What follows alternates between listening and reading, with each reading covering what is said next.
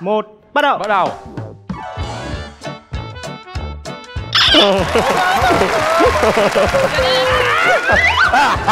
Ấn vào ngực ấn vào ngực ấn vào ngực. Ủa? Ờ. Thôi cái con này nó ngậm được dữ bỏ đi bỏ đi bỏ đi bỏ đi ngồi giấy lên đi. Nhưng mà em không cầm cái tờ Ô, ấy không cần phải vậy. Giấy giấy giấy giấy giấy bỏ giấy vô bỏ giấy vô. Tự làm tự làm đi chậm quá. Nhanh nhanh nhanh. Phải làm lại làm lại. Nhá ủa? Chưa ép ngực chưa ép ngực chưa ép À. chưa ép ngực chưa ép lại. cái đó lại là làm lại làm lại. Cái đó là ra cái lên lên đây. lại lên. Oh first kiss, you make me happy. Chẳng nói lên được tiếng chi, giờ chỉ nghe nhịp trái tim. nhớ là sau khi mà mình làm mình phải ép ngực nha. Rồi rồi rồi ghê quá. Trời ơi chưa bao giờ em phải phục vụ nhiều vậy luôn. Đúng rồi. Bỏ bỏ bỏ bỏ lên. Nhớ nha là thao tác nha. Hai tay ép ngực. Bại lưng vũ. Hai tay ép ngực nha lên bại lưng vũ vậy ép ngực. Ép ngực chính giữa chứ không phải là trên chính giữa. Ép ngực. chính xác rồi ok. Rồi. để đến tới kỳ ờ sai thôi phi sai phải vô đây mới đúng chứ không em lấy cái màu em cắn là sai ép nha. hết ngực nha mọi người mọi người ép sâu quá ép nhanh nhanh sâu nhanh quá. nhanh nhanh Ê giống giải quyết giấy tờ quá. Cái đó gọi là giống làm trai siêu tóc má ơi trời ơi. Cái mặt quá. Hai cái đi trời ơi. Ừm. em đếm ngược 10 giây cuối cùng này mọi người ơi. Lắm Mười. ơi chín. Nhanh nhanh. Tám. Bảy. Sáu. Hết rồi hết rồi. Năm. Hết rồi. Bốn. Thấy còn ba.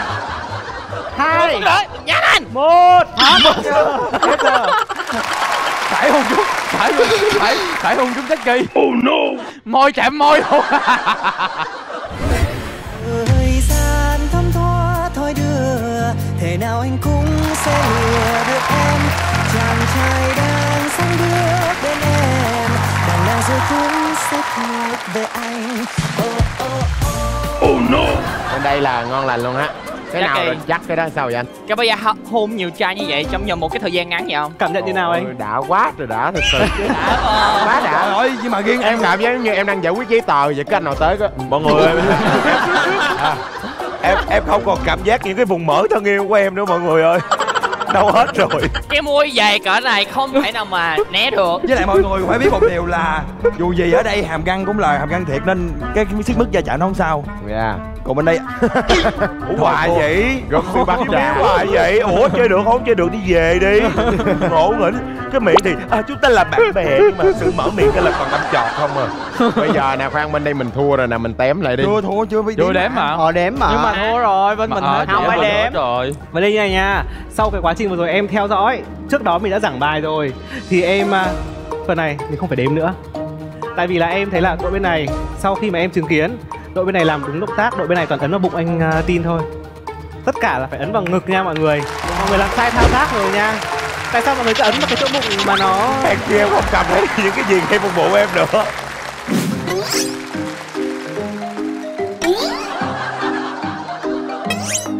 Đá bụng không bé? Ủa ở đây mà. Ở bên đây tôi cảm ở bên đây tôi thông báo cho mọi người là tôi cảm thấy được từng cái vân môi của của mọi người luôn. Nói chung là đã dữ lắm. Làm biến nói chuyện quá. Ờ dạ.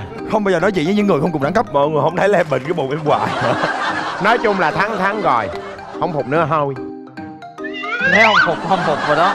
Rồi ok nha Bây giờ đội à, thua thì em sẽ có một cái à, phần quà nho nhỏ. Ủa? Đội thắng thì em Quà sẽ nhỏ mời mọi thôi. người mà. đến chỗ trước. Ê, sai sai sao quá ta? Khoan khoan. khoan tại sao đợt mấy đợt trước là thua thì không có quà đợt này thắng cũng có quà luôn. Rồi mọi người Do di chuyển ra đã giữa giữa giúp em à? nha. Bây giờ thì à, bốn con người còn lại ở đây.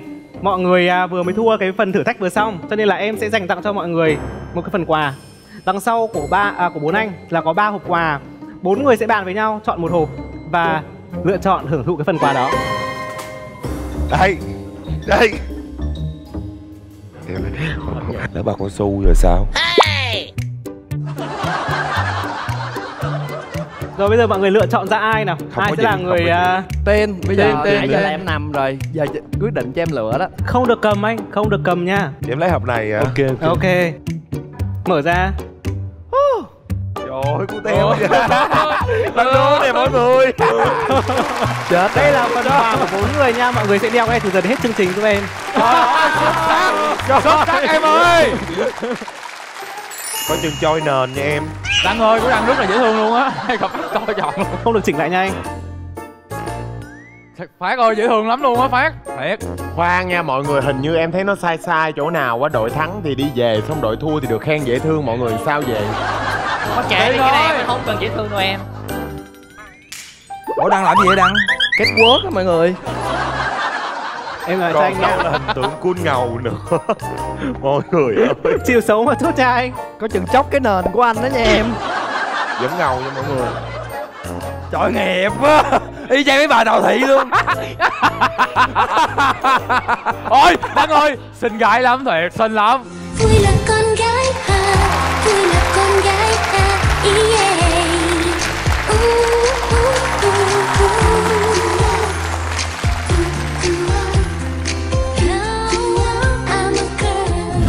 dễ thương lắm luôn. Nhưng mà ít ra là tóc thiệt mình làm vậy thì nó không có Dạ rối. Em Wow Cái nết không thiệt tí nào. Đúng là như không khí mà bạn mang đây từ đầu chương trình ha. Trò chơi cũng rất là vui mà phần hình phạt cũng rất là dễ thương nữa Bốn người mà bị thua đó Đang đeo cái cái nơ đó Thì à, đang có cảm xúc như thế nào? dễ thương Đang rất là cảm thấy uh, cute Em ơi thì sau khi mà chơi trong chơi xong trò chơi á Thì em thấy chính chàng trai của chương trình như thế nào? Em thấy là dù có đeo cái đấy hay là không đeo Rất là dễ thương đó ấy là khen Còn cái phần mà nằm ra đây thì sao? Phần nằm ra ở đây thì em Em phải nói thật là từ đầu chương trình đến giờ Không phải là em định đâu nha Nhưng mà phải nói thật là anh tin là dễ thương nhất Rõ ràng là em đã cố gắng ra sức Em bảo là ấn vào ngực rồi Nhưng mà mọi người vẫn ấn vào bé mỡ bé mỡ là con Ủa sao của ta anh biết ở đây là bé mở vậy? hả đó là con của em em đặt tên là bé mỡ tiên Tại vì chứ sao em thấy bên này mọi người ấn vào ngực ấy Nó cứng Bên kia em thấy ấn nó lún À nó trồi lên trồi xuống Đúng đúng, đúng rồi. không em? Cho nên bây giờ sau khi mà chơi xong Em có nghĩ là mình có thay đổi ý kiến không?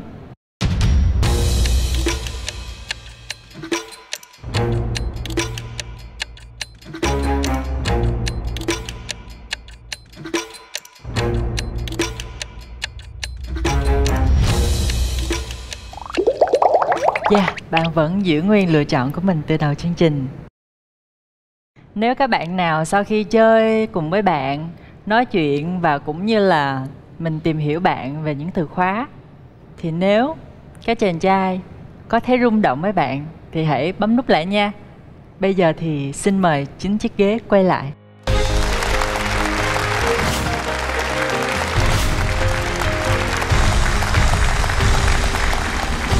Sau những phút giây mà Sa nghĩ là cũng có rất là nhiều cung bậc cảm xúc Nhưng mà hầu như là những giây phút rất là vui tươi và tích cực mà bạn mang đến chương trình.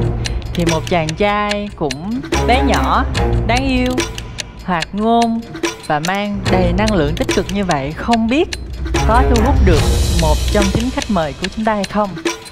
Thì sau 3 tiếng đếm Sa rất mong sẽ có một hoặc nhiều hơn những chiếc ghế sẽ quay lại để chủ động tỏ tình với Duy một. Hai. Ba. À, Rất tiếc là không có ai bấm quay lại hết. Nhưng mà không sao. À, Bây giờ thì à, Duy vẫn còn tự tin để mà thể hiện tình cảm của mình chứ. Em vẫn tự tin chị. Vẫn tự tin ha, Dạ, một trăm phần trăm nha. Một trăm phần trăm như ban đầu. Và không vì lý do gì hết Chúng ta hãy cứ tự tin mạnh dạn Bởi vì à, bạn đã cất công rất là nhiều Để đến với chương trình này rồi Thì mong là Màn tỏ tình sắp tới đây Sẽ là một màn tỏ tình thành công nhé. Cảm ơn chị. Còn bây giờ thì xin mời Màn tỏ tình của Duy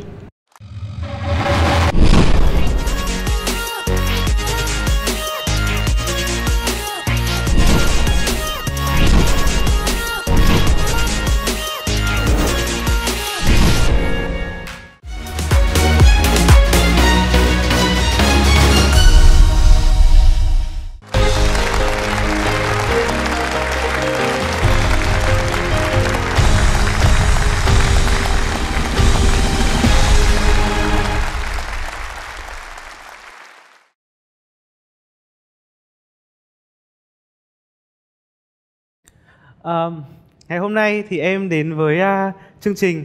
Em có mang theo một cái à, vật phẩm rất là đặc biệt. À, bây giờ thì em à, đã bí mật để cái vật phẩm này ở trong trường quay rồi. Em muốn là sau khi hiệu lệnh của em kết thúc thì chín chàng trai sẽ giúp em tìm cái vật phẩm đặc biệt này nha. Ba hai một. Xin mời mọi người tìm xung quanh xem chỗ nào của mình có một cái vật phẩm cái đó em là đặt những cái hộp đó. nè. Thì có cái ờ, hộp gì ờ, ở ghế em kìa tin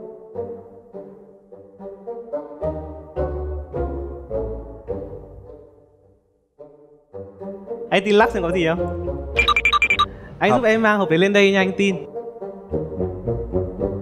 Rồi em mở luôn trên đó luôn đi tin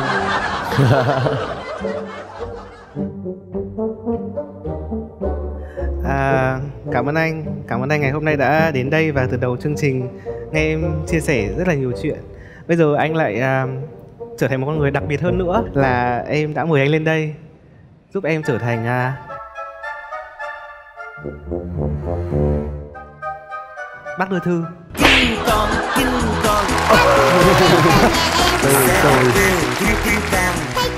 Em có viết sẵn một cái lá thư ở đây để gửi cho một người vô cùng đặc biệt. Bây giờ em sẽ để vào trong này. Tên ơi đưa cho em cái băng đồ đó là đúng luôn Tại vì con bướm á, tên Bye đưa thư cho nhanh tên ơi Rồi ok.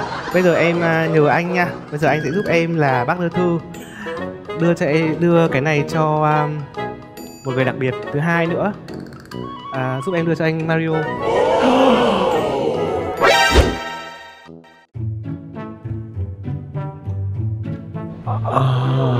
Rồi mình lại đem cái tờ này đưa cho bạn người thứ ba Rồi sao em À, bây giờ nhiệm vụ của anh thôi. Anh mở ra và giúp em.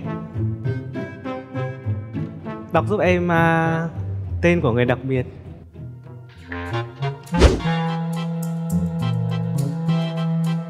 Ta đừng làm vậy bạn ngại đúng không? Bạn ngại mà em cũng ngại nữa Không, em em em không ngại đâu.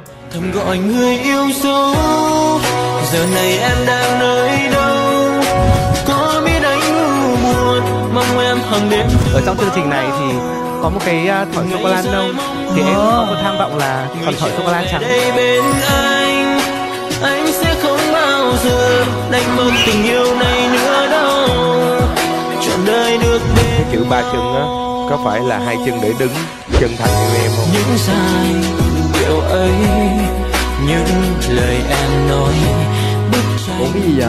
Sao vậy? Yes. Phải như vậy Phải như vậy mọi người à. Rồi. Em thích là kiểu à, một người đàn ông là sẽ có sự trưởng thành, sự điềm đạm, chững chạc. người yêu hơi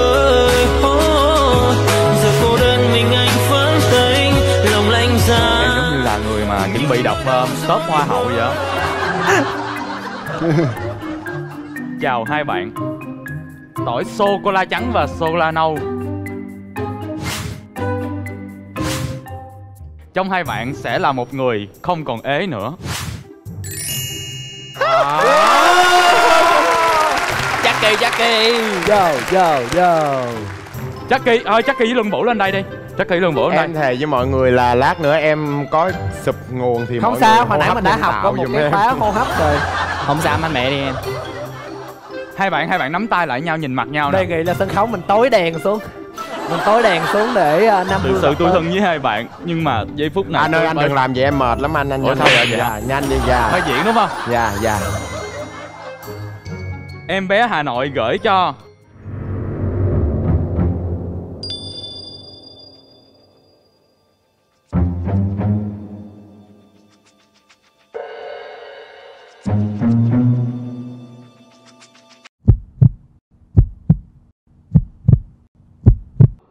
Luân Vũ.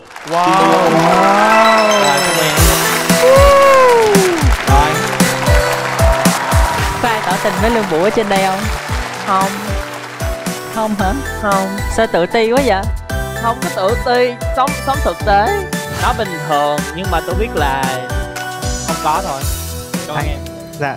Em mời anh ngồi nha. Cái này À. thì để đến cuối chương trình. Ok. Anh sẽ à, đọc giúp em nha. Ok À, cảm xúc của anh bây giờ thế nào anh? Anh thì thật sự anh hơi bất ngờ Anh anh bất ngờ sao? Ờ thì Theo lời em chia sẻ thì em nói em thích một người che chở em Nên là anh nghĩ cái đó thường người ta nhìn cái bề ngoài của anh sẽ không nghĩ như thế anh nghĩ là Mario hay là Jackie hơn tại vì em thì anh thấy em đam mê âm nhạc đúng không và anh thấy Jackie cũng có những cái sở thích đó nên anh nghĩ là có thể anh sẽ chọn Jackie hay là Mario thì anh thấy bất ngờ nhưng mà anh thấy sao? Anh thấy khi mà em nói về cái um, tức là có thể là anh đang nói là mọi người khi mà nhìn vào anh ấy mọi Ừ. người sẽ không nghĩ là anh có những cái uh, yếu tố như là anh Mario hay là Ừ. gì đó. Nhưng mà bản thân anh khi mà em lựa chọn anh thì anh thấy những cái điều đó thực sự là từ bản thân anh cảm nhận Ừ. ấy. Anh có những cái điều đó không? Anh ờ, để anh có được những cái yếu tố yếu tố đó thì ờ, chắc có thể có. Nhưng mà em chọn anh thì anh rất là vui. Đó anh cảm thấy ờ, tự hào ừ. được ờ, một người khác thích mình thì mình cảm thấy tự hào. Anh Cảm có ơn. biết là lần đầu tiên mà em uh, nhìn thấy anh là ở đâu không? Em đoán thử xem ấy. Tại vì là sao? Vì em hỏi cô đấy tại vì là có thể là anh chưa nhìn thấy em bao giờ. Ừ. Để anh suy nghĩ. yep. anh chả biết. Chắc là một cái chương trình nào đó trên tivi đúng không? Cái đấy thì sau này em mới biết cơ. Cái đấy Dạ. sau này em biết. Ờ, để suy nghĩ. Tại vì anh chưa bao giờ đi hà nội chưa bao giờ đi hà nội. Chưa. Thế thì nhân dịp này ra với em nhé ngày em đến gần anh rất nhẹ nhàng. Nghe âm thanh du dương của tiếng cười ok đi chơi chắc chắn. Ok. Anh mới đi được mỗi cái hải phòng thôi. Ừ. ờ, để suy nghĩ thế có hứa không? Có hứa là sau hôm nay dù kết quả nào cũng cùng em ra hà nội không? Ánh mắt em như xua màn đêm. Đưa anh đi qua bao đau thương phải đi. ờ chắc chắn phải đi. là thật ra là lần đầu tiên mà em à, em lướt được anh là ở trên Tinder. Ồ Sư ra ở trên Tinder. Anh có chơi không? Anh có chơi Có. không? Ok. Chuyện nhỏ Dạ. em anh đâu có ngại đâu. Rồi ok. Thường. đó là đầu tiên là lần đầu tiên em biết anh. Nhưng mà thật ra thì à, cái ấn tượng đầu tiên ấy lúc mà em à, biết anh ấy thì em à, chỉ đơn giản là vì em thấy à, khác lạ thôi ừ ừ. Kiểu trông kiểu mọi người mình có cái sự khác biệt thôi. Em chỉ ấn tượng như vậy. Cái xong đó là em à, em cũng có chơi tiktok nữa. Thì em thấy là anh có quay clip ở trên tiktok. Thì lúc đấy thì thấy kiểu hành động của anh ấy thì bắt đầu là mình cũng thấy thích. Thì em à, tìm hiểu. Em tìm hiểu thì lúc này là em mới bắt đầu biết là anh à, tham gia show truyền hình. Lúc đó là em mới biết là à hóa ra là anh cũng đã được nhiều người biết đến rồi. Ừ. Nhưng mà điều đấy thì nó lại có một cái vấn đề ở chỗ là khiến cho em cảm thấy là khó tiếp cận hơn. Đúng rồi chính xác. Nó sẽ khó tiếp cận hơn. Anh không tự nói ra là anh nổi tiếng nhưng mà nhiều người biết đến anh. Nên là muốn cái người mà muốn kiểu tỏ tình anh rất là khó. Họ sẽ rất là bất cỡ hay là ngại hay là cảm thấy giống như là nguy hiểm. Khi mà yêu anh sẽ rất là nguy hiểm. Tại vì anh thì thứ nhất là nếu mà mình có những người biết đến mình thì mình có nhiều cái sự chọn đúng không?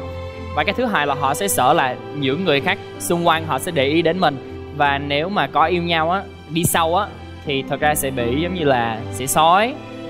Các kiểu nên là nó nó, nó thật sự anh hiểu tại sao mà chưa có ai tới để tỏ tình anh. Sau khi mà em à, biết được những cái mà như anh chia sẻ Ừ. là được nhiều người biết đến rồi là có một cái nhiều sự lựa chọn hơn. Em rất là lăn tăn khi mà quyết định là sẽ tỏ tình. Ngoài kia có rất là nhiều người thích anh chẳng hạn. Có thể là vì ngoại hình có thể là vì này kia nhưng mà ít ra là có một người là thích anh chỉ đơn giản là thích anh thật lòng thôi chứ Ừ. không phải là vì một cái à, gì khác cả Because you are my crush, oh oh, crush, Em, à, oh, thực oh, sự là cũng muốn là nắm bắt cái cơ hội ngày hôm nay oh, để em chia sẻ với anh những cái điều như thế. Có một cái nữa mà em, my em nghĩ là trong chương trình ngày hôm nay nếu mà em hỏi thì không biết là nó sẽ có tế nhị với anh hay không nhưng mà là em thực sự là muốn tìm hiểu anh em nghiêm túc thực sự là muốn tìm hiểu anh cho nên là em sẽ hỏi em biết là anh cũng đã có từng có một cái à, cuộc hôn nhân trước đó. Về tình yêu đúng không? Về tình yêu. Thật ra là trước đây thì anh ờ, anh đã tổ chức đám cưới và anh có cưới một người rồi. Ừ. Ờ, anh cũng có chia sẻ một chút về cái bạn đó. Ờ, tức là cái bạn đó thì lúc trước là tụi anh yêu cũng cả hai năm. Ừ. xong rồi kết hôn rồi bạn đã đi đến mỹ rồi hai người cùng sống với nhau khoảng một năm mấy. Nhưng mà một khi mà đã sống cùng với nhau á, thì đã phát sinh ra những cái vấn đề nhỏ giống như là à, không hợp tính nè à, giờ giấc không có giống nhau nói chung là rất là nhiều thứ cộng ở cộng lại thành ra là nó thành một cái ờ, mối quan hệ tiêu cực Ừ. suốt ngày chỉ là cãi nhau chửi nhau không có tích cực được Ừ. có những lúc mà giống như là anh cũng có đi ờ, cái gì ờ, tư vấn bác sĩ tâm, tâm lý á kiểu như là mấy cái bác sĩ mà chuyên về mối quan hệ á Ok. tư vấn cho mình để mình có thể ờ, chỉnh sửa cho nó tốt hơn nhưng mà vẫn không thuyết phục được nên là cuối cùng hai người cũng bỏ nhau. Nhưng mà đến ngày hôm nay á anh vẫn phải nói á, là anh rất là phục bạn đó và hai người rất là thân. Mặc dù có thể nói là bạn rất là thân với nhau và sẽ có rất là nhiều người bên ngoài sẽ không có hiểu tại sao mà hai người vẫn có thể làm bạn thân như vậy được. Bạn đó nó, nó thiếu một cái gì nó thiếu tiền bạc anh sẵn sàng đưa nó bao nhiêu cũng đưa hết. Nó cần bất kỳ gì anh cũng đưa mà sau này anh có người yêu người anh cũng phải cũng, cũng phải hiểu điều đó là hai người đã từng cưới với nhau rồi nên là cái cái cảm xúc nó khác nó giống như là có thể là hai người không có con cái với nhau. Nhưng mà một cái cảm xúc mà đã kết hôn trước mắt của bố mẹ của anh và bố mẹ của bạn đó và cả gia đình trong họ thì nó sẽ khác so với những bạn mà không có. Đó là một trong những lý do mà đồng giới mình nên cho phép kết hôn. Tại vì một khi mà mình đưa ra trước cộng đồng, mình có thể giống như là có một cái ràng buộc, sự ràng buộc trước mắt của các cộng đồng á, mình sẽ có một cái cảm xúc nó rất là khác lạ so với những bạn mà kiểu mình không có phép kết hôn á nên là thật sự là giống như là có khoảng một năm đến 2 năm á là anh không dám ra ngoài đường á. Kiểu như là anh không dám yêu ai mà nếu mà anh có nói chuyện với trai khác là chỉ là quan hệ tình dục.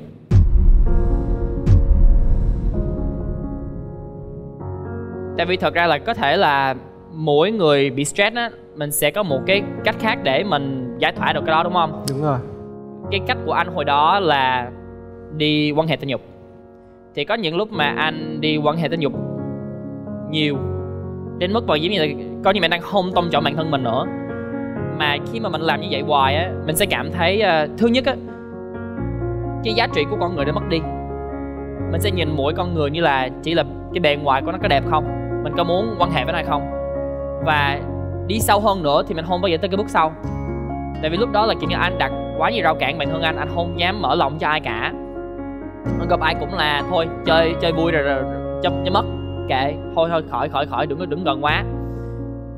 Lặp quá lặp lại hoài á nó rất là chán em. Đến khi á, mà gần đây anh à, bắt đầu ngừng quan hệ tình dục. Đến khi anh nghĩ là thôi bây giờ mình ngừng đến khi mà mình có bồ chính thức. Tại vì không phải anh nói gì sẽ có những bạn mà họ có thể rộng rãi được với cái điều đó họ có thể thoải mái được với điều đó là muốn làm gì làm. Nhưng mà bản thân anh là không anh phải uh, nghiêm chỉnh cái lại một xíu để mình có thể mình tôn trọng những con người khác và mình có thể ờ, uh, đặt cao hơn cái uh, cái giá trị con người á.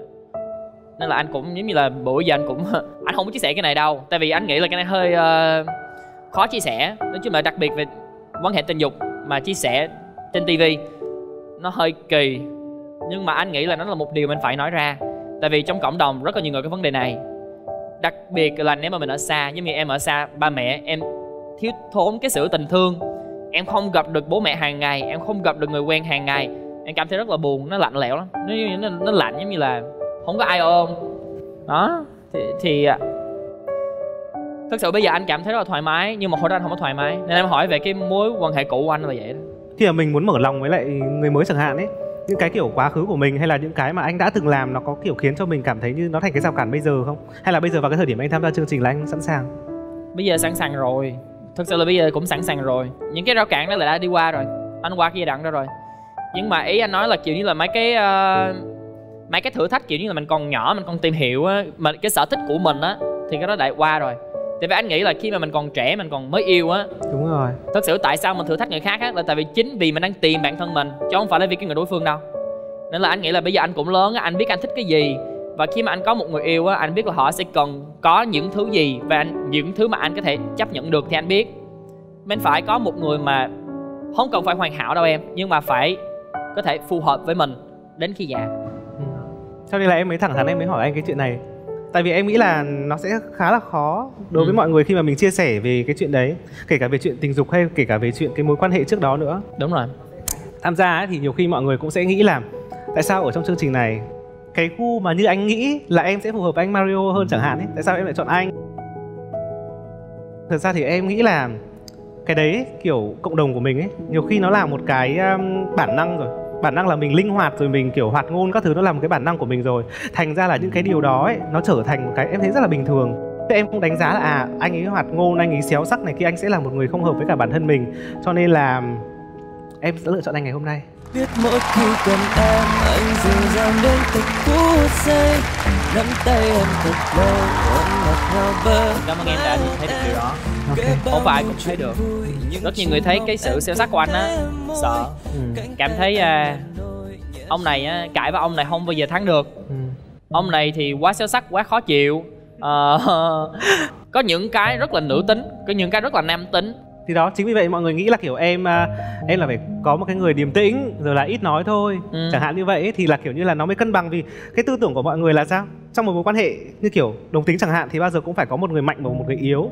Nhưng mà thật ra em nghĩ là quan trọng là cái cảm xúc chứ còn cái vấn đề mà tình dục các thứ nó là cái thứ đến sau đấy. Khi mà mình yêu một người nào đó mình đừng có đặt nặng vị trí giống như là anh là top nè em là boss nè. Tại vì anh là top anh phải chơi chở em là tại vì anh là top nè anh phải chở xe anh phải trả Chính tiền xác. cho em đi ăn. Ủa ai ra luật đó? Ừ. mà nam nữ cũng vậy thôi. Tại sao mà nam phải trả? Nữ cũng trả được nữ cũng đi làm được.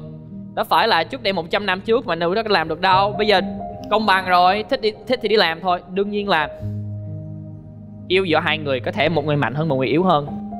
Nhưng mà những cái đó không cần phải so sánh. Thích thì làm phù hợp thì yêu còn không phù hợp thì thôi. Anh kiểu anh vậy là anh sống phản lắm không em nghĩ đấy là cái điểm chung đầu tiên. Em Ok. nghĩ là cái điểm chung đầu tiên tại vì là thực sự là em cũng như anh thôi. Em cũng sẽ rất rất là kiểu cảm thấy thoải mái và thoáng với những cái chuyện đó. Ok bây giờ anh ngồi đây chờ em một chút nha. Ok.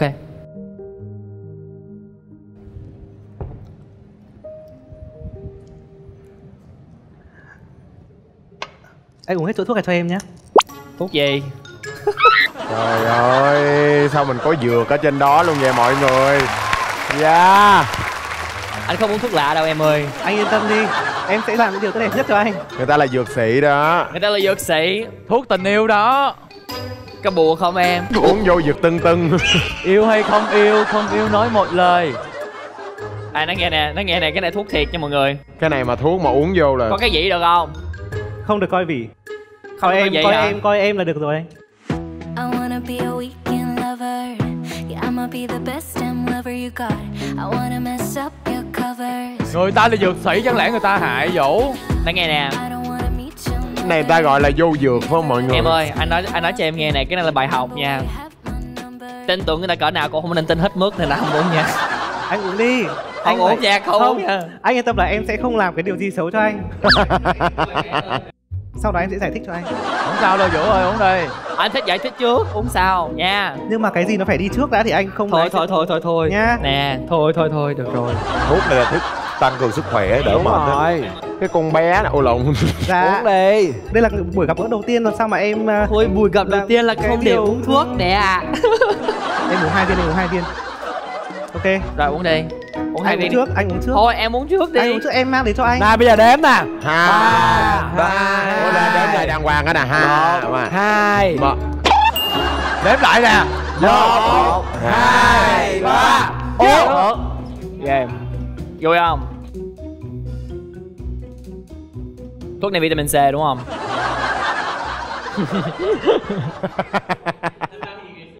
thật ra thì ngày xưa mọi người có nói cái câu à, ấy nhưng cái câu đầu tiên mà em nói ở trên cái clip ấy là cầm vàng còn sợ vàng rơi ấy. Có bồ là dược sĩ thì đời đời yên tâm. Cho nên là ngày vừa xong anh vừa nói với em là nếu như mà tại sao trong mối quan hệ lại hay phân biệt là top với bot? Nếu mà anh là top anh phải trả tiền cho em anh phải đưa đón em đúng không? Thì em chỉ muốn là sau này thì không biết là anh em mình ví dụ có đến được với nhau em hy vọng điều đó. À, không biết là có giàu hay nghèo nhưng mà anh sẽ không bao giờ phải lo lắng về sức khỏe của anh. Cùng anh băng qua khai chân trời ôm ấp những giấc mơ dài. Đi tới xôi ok. còn tất cả những cái gì ngày hôm nay ý, em mang đến thì đều là những cái thứ rất là lành rất là yên tâm đấy. Em còn uống để cho anh xem mà. Nên là anh không bao giờ phải lo lắng về những cái điều đấy. Thật ra thì à, mọi người nói đúng rồi. Là cái này nó um, là vitamin C thôi. Ok. vitamin C thôi. Ok. Bây giờ anh uống vẫn tốt uống tối là mất ngủ nha đó. Anh cũng muốn uống. Mà cái này là em chỉ mang đến cho uh, lân vũ. Ok. Kệ nó em. kệ. Dạ. Chia sẻ sau nha? Không nhưng mà thực sự là um, em chỉ định là ngày hôm nay đến đây để cho anh uh, Luân Vũ thấy cái tình cảm của em là em muốn chăm sóc anh thôi nhưng mà nay anh lại làm cái hành động mà khiến cho em lại càng cảm thấy thích anh hơn nữa. Thế là anh bảo là trong cuộc đời có những cái không thể tin được ai và nhất quyết là không chịu uống thuốc. Tức là con người không dễ dãi. Tức là, là Thích bạo lực không nhìn bên ngoài thì có thể là nó sẽ hơi um, hình gọi là bên ngoài các cái hành động của anh thì có thể nhiều khi nó hơi gọi là lăn xả một tí hơi chơi chơi một tí nhưng mà thực sự là em cảm nhận được cái điều đó. Cảm ơn em. Em hiểu được Em- anh hơn ờ, các bạn khác. Không cái đấy là vì em em uh, em đứng gần anh nhất vào thời điểm này. Em thấy là lúc đấy anh nghiêm túc. Ừ. lúc đấy anh rất nghiêm túc nhưng mà vì anh tôn trọng em. Nên là anh vẫn đã uống hết cái thuốc mà em mang đến ngày hôm nay. Ngày hôm nay em đến đây em còn mang một cái phần quà nữa cho anh à, nhưng cái phần quà này nó sẽ uh, đặc biệt hơn cái này một chút và nó hơi riêng tư một chút. Cho nên là bây giờ em uh, muốn là anh đứng lên nào. Ok. Anh đứng lên nha. À, bên này hả? Rồi. Ok. Bây giờ như này nhá. Bây giờ em uh, sẽ ra hiệu này. Em uh, đếm một hai ba. Thì anh sẽ quay về nhìn ở phía tất cả các anh ở đây. À. Nha, bây giờ anh nhắm mắt lại đã. Ok. Rồi. Em đếm này 2 3 Em quay sang nhìn đi. Thôi tôi nghi rồi. Tôi nghi nãy giờ rồi. Hôn em Tôi muốn được hôn em. Lên đôi môi ấm nóng mùa thu Nhẹ nhàng đúng không? Bây giờ ngày hôm nay thì à, với một cái bối cảnh đẹp như này. À, em thấy mọi người cũng đang rất là vui. Em cũng cảm thấy là anh rất là cởi mở tất cả mọi chuyện không giấu giếm cái gì hết. Và cũng có nhiều điểm tương đồng với em. Thì à, em sẽ à, muốn à, hát tặng anh một bài nữa. Từ đầu chương trình em đã hát rồi nó hơi sai sai một tí thì bây giờ em sẽ hát một cái bài đúng hơn cái tâm trạng của em lúc này. Ok. À, một bài hát mà nó thực sự là cái cảm xúc của em lúc này luôn. Là bài hát à, hơn cả yêu. Ok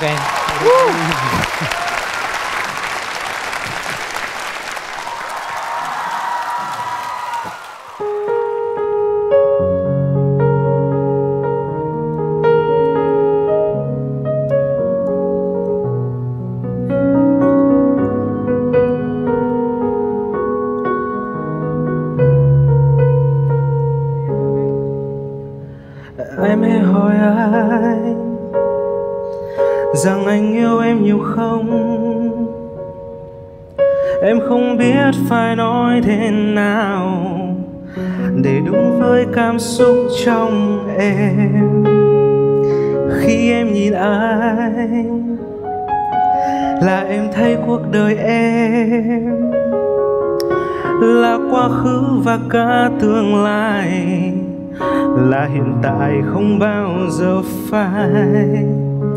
Tình yêu trong em vẫn luôn thầm lặng nhưng không có nghĩa, không rộng lớn chỉ là em đôi khi khó nói nên lời, mong anh hãy cảm nhận thôi. Cao hơn cả núi, dài hơn cả sông, rộng hơn cả đất, xanh hơn cả trời. Em yêu anh, em yêu anh nhiều thế thôi qua ngọn gió vượt qua đại dương, vượt qua cả những áng mây thiên đường. Dẫu có nói bao điều, cảm giác trong em bây giờ có lẽ hơn cả yêu.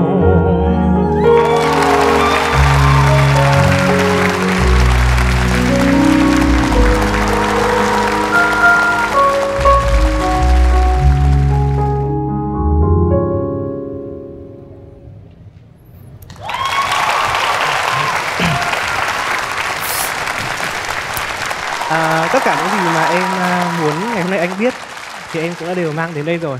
Bây giờ cho em nắm tay anh một chút được không?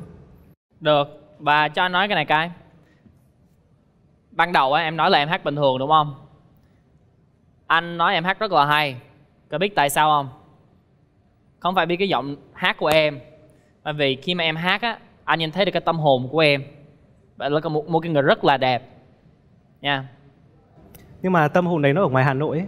Bây giờ mà muốn nhìn sâu nữa thì phải ra Hà Nội nha. Về đi Ra đi Ra đi Ra đi Ra À, thực sự là cái thời gian ở trên cái uh, chương trình này nó rất là ngắn. nhưng để mà em uh, tìm hiểu hết về anh thì anh hiểu em. Có thể là em tìm hiểu về anh nhiều hơn. À, em cũng không yêu cầu là anh phải về tìm hiểu em bằng từng đấy.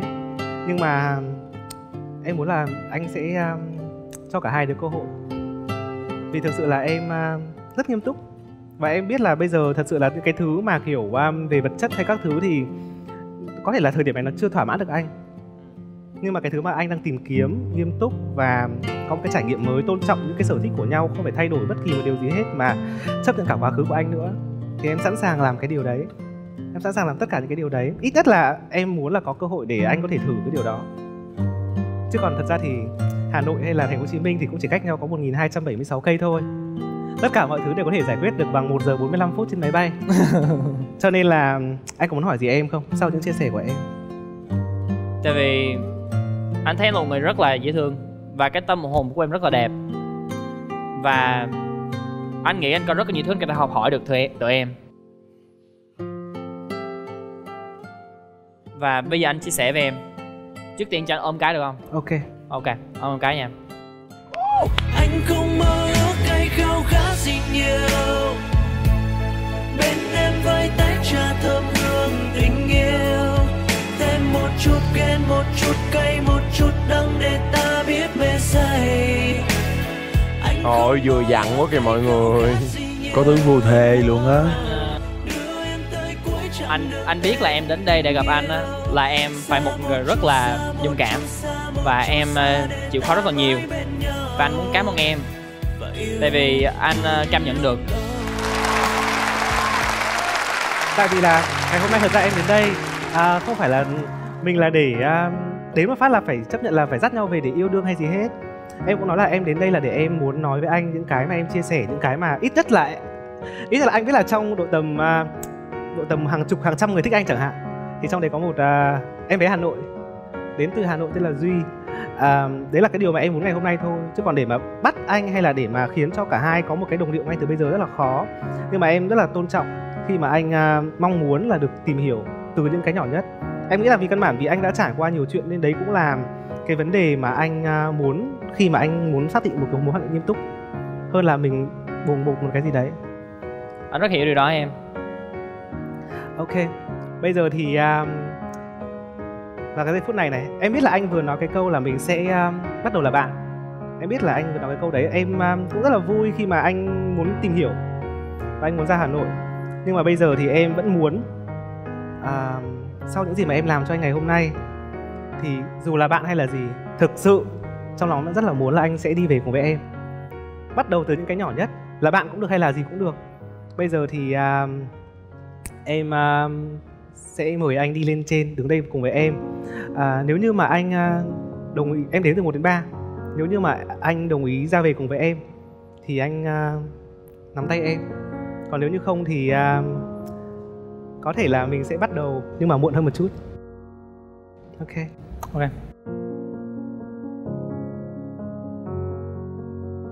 Đây hả? Ok anh phải anh chủ động nhá okay. bây giờ này à, em chỉ nói thôi là mình ngày hôm nay em đến đây là em chỉ mong muốn là mình được về và tìm hiểu cùng với nhau thôi. Chứ em không quá đặt nặng cái vấn đề là anh ngày mai trở về mình sẽ phải công khai là mình yêu nhau hay một cái gì hết. Đó em chỉ muốn là anh biết như vậy thôi. Đấy để nó um, cảm thấy anh cảm thấy thực sự thoải mái và cảm thấy tôn trọng nhau ở thời điểm này ha. Bây giờ em đếm nhá. Ba. Hai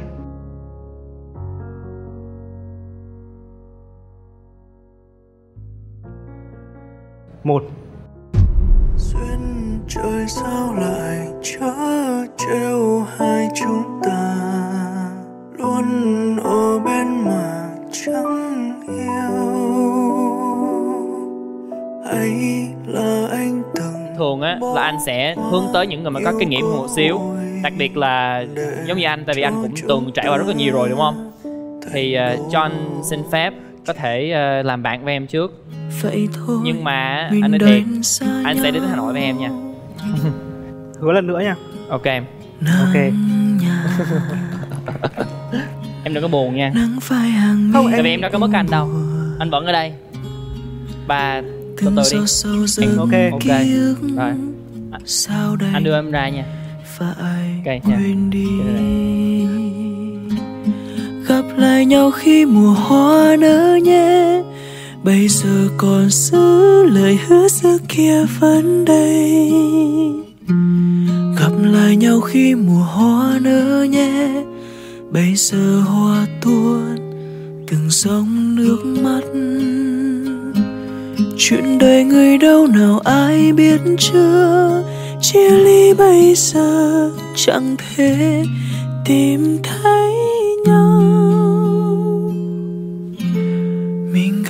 Khi mùa hoa nở nhé, xin đừng đừng nói chia ly.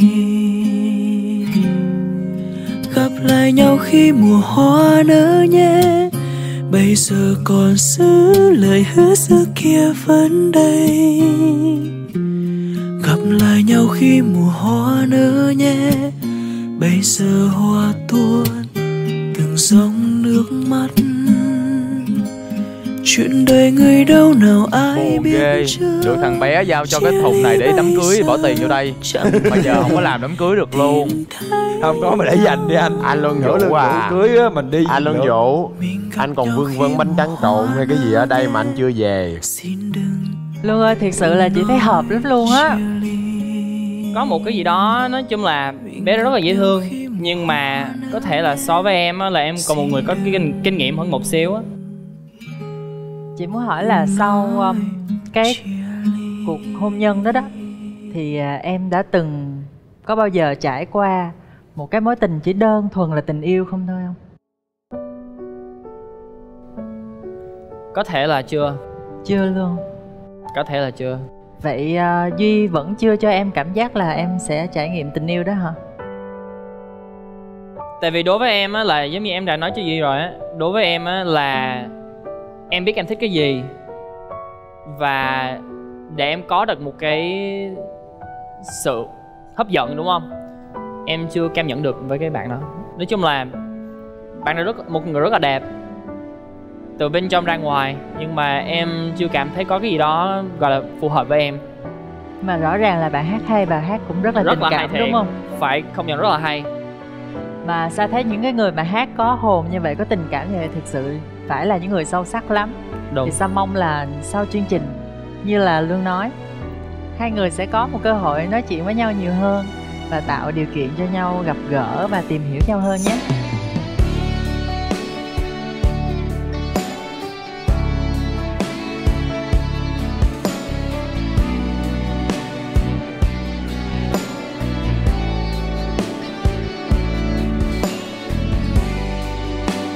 thưa quý vị, thì hôm nay rất cảm ơn Duy đã đến với chương trình mang một cái màu sắc rất là tươi mới, rất là trẻ trung cũng như là rất là tích cực.